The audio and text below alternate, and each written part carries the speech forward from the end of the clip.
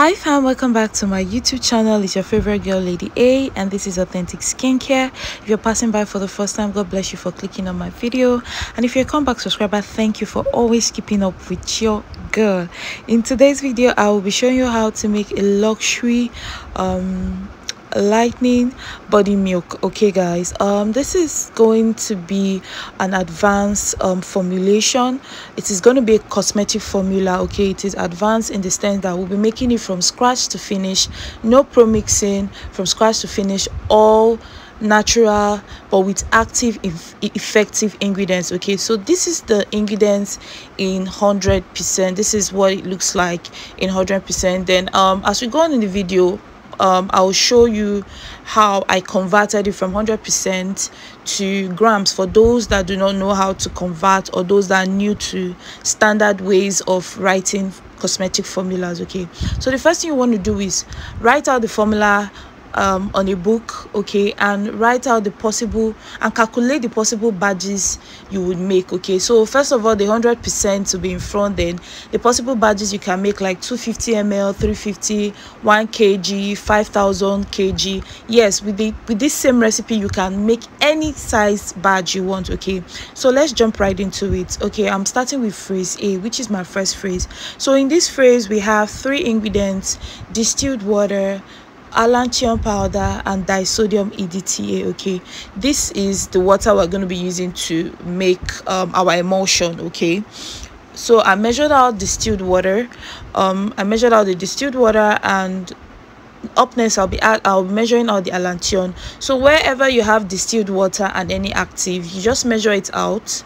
Um this is allantoin powder is good for soothing skin soothing um, preventing reaction for irritations of the skin okay? So here is it. I use two percent um sorry one percent of our allantoin powder one percent of the allantoin powder. So i simply divided it as one divided by 100 times 250 gram which gave me 2.5 grams so i add i measured out 2.5 gram and added it to the distilled water. Here i'm adding disodium edta disodium edta is a chelator in case you're new to it. Um a chelator does so many things. Um i might not have enough time to talk about it in a video so you can browse about it. In my next videos trust me i will dive in. Okay it's super good. Okay i use the chelator in 0.5 percent. Okay so i added it to the distilled water and i stir.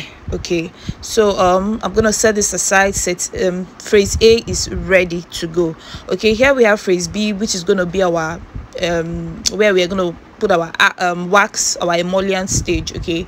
Okay i'm using the silky wax okay? I'm using four percent of our silky wax. So here i measured four divided by 100 times 250 gram and i got 10 okay here i have 10 grams of my silky wax okay?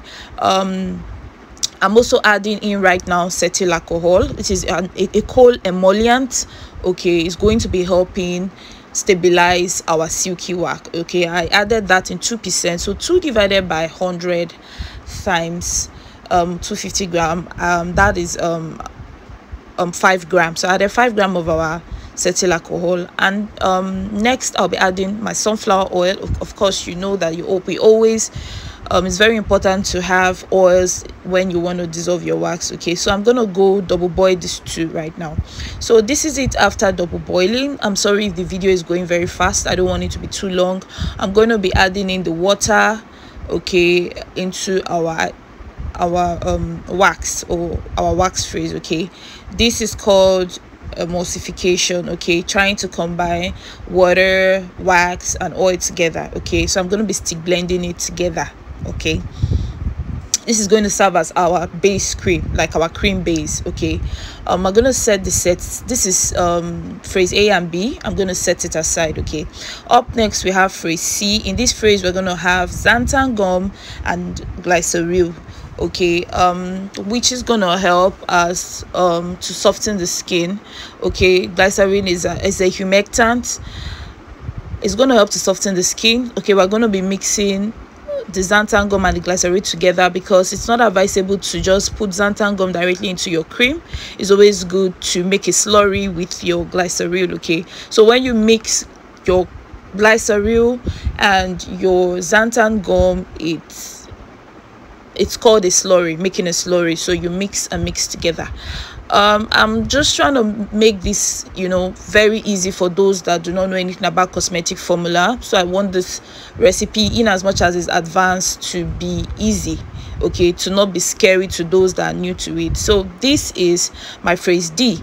In my phrase d we're going to have most of our actives that are water soluble okay? Most of our actives that are water soluble. So i'm going to go in with after measuring the distilled water um, i'm going to go in with our first active which are alpha arbutin i added this in two percent. So that's two divided by 100 times 250 that is five grams so i'm, I'm adding five gram of my alpha arbutin powder. Okay alpha arbutin these are water soluble powder. So they will dissolve in it properly. I did um okay i'm gonna add the second active which is our glutathione powder. Now note that alpha arbutin and glutathione are amazing ingredients. You can see why this is a luxury lotion.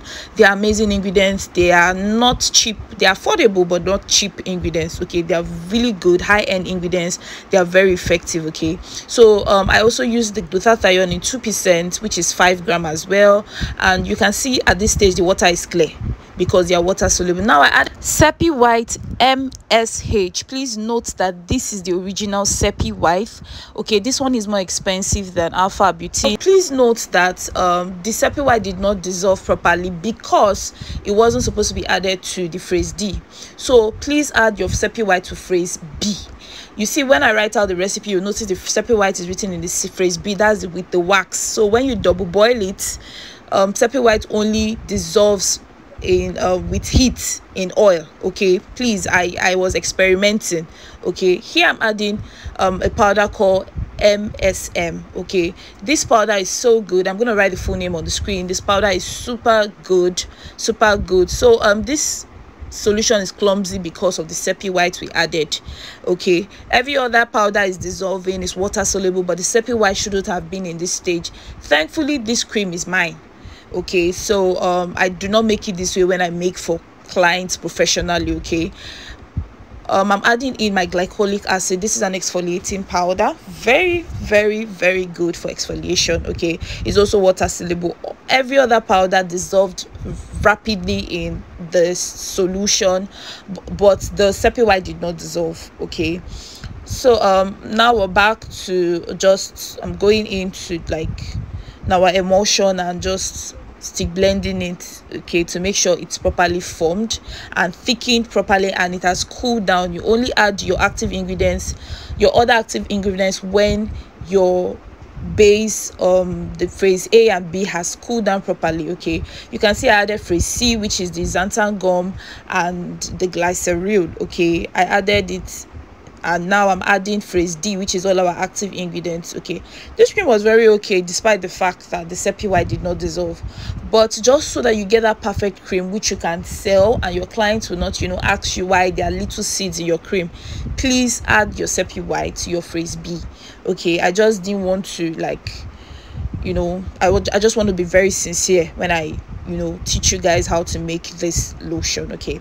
Now this is our phrase d. In this phrase we'll have kojic dip kojic dip is an oil soluble powder as well. You don't need heat to heat it so please do not add it to the phrase b okay? Do this separately because you do not need heat to heat it. I added um, 5% of our kojic dip okay and i'll be using coconut oil because my skin flourish a lot to coconut oil. Um other options are grapeseed oil or sweet almond oil or almond oil okay.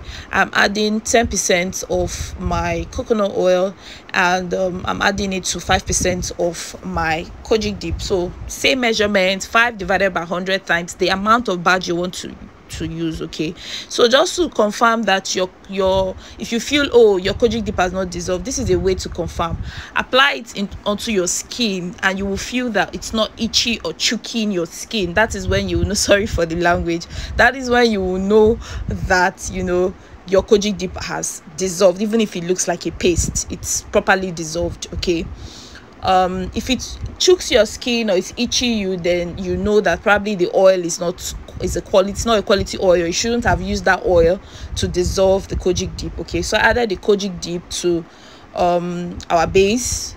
And um, this is our last phrase. In this last phrase i added in propylene glycol. This is dimethicone dimethicone is an ingredient that is used to smoothing the skin. It's just it's almost like um, msm powder. It softens smoothens the skin. Is very good for lotion. I added it in one percent.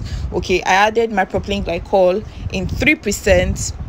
For some reason i don't know why that wasn't recording. I, I didn't record adding propylene glycol. I don't know. I guess i didn't know when my camera was off. Okay. Okay this is tocopherol um you can put this together or you can add it one by one to the cream the last stage okay? It doesn't really matter okay? So i'm adding the tocopherol which is a, a very um and a, a a form of vitamin E that is really really nice okay? Here I'm adding in Germall Plus. Germall Plus is a preservative a broad spectrum preservative. It's really good. It's going to help ensure that our cream lasts. So this cream can last as long as six months to um 18 months six months to 18 months okay depending on how you store the cream okay? So this is it. I'm showing you the fragrance added i also added my fragrance in 0.5 my Germall Plus was in 0.5 percent as well okay? I didn't even measure the fragrance because i'm using a fragrance oil. I just put some few drop. It's very strong. I used like three drop and you know it was really nice. So i'm gonna just stick blend all the ingredients you know stick blend stick blend till i get that. Look at how luxurious this lotion look okay? Um if you have any questions please ask me in the comment section. I'm gonna do do more videos i would not make it as fast as this one is because you know i had to even you know edit this video very very fast you know as i'm doing my voiceover okay? Um right now i'm doing the most important part. After making any cosmetic formula you must take ph you must take the ph of the product okay? So i just added a little amount of the cream and i poured water in the beaker and i'm just going to be dipping in my ph slip okay? You can use a ph meter or a ph slip okay um you're going to be seeing me use the two okay? But if you i know that if you're making it at home ph slip is easier to use okay?